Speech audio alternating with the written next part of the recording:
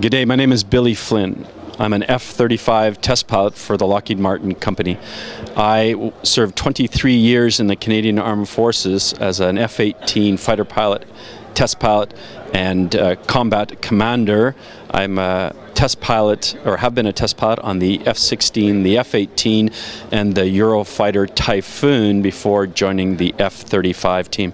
I fly all three variants of the F-35 and I'm presently based at Naval Air Station Patuxent River, where I, uh, I test and experiment with the F-35. The F-35 is a fifth generation stealth multi-role fighter and there are two parts of it that distinguish it from the legacy heritage fourth generation fighters that I grew up in like the F-18, like the F-16, like Typhoon.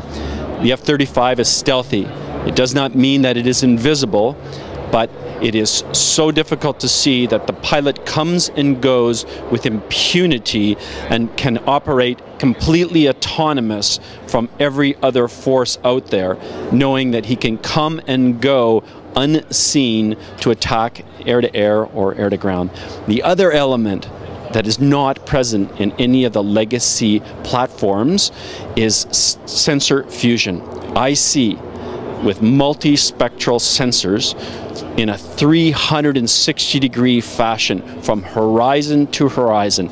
Everything that happens on the ground, over the sea, and in the air. And I fuse from many sensors all that information on a single display in front of me. My workspace is effectively two iPads voice recognition, like most of us know from our iPhones, just like Siri in an Apple iPhone.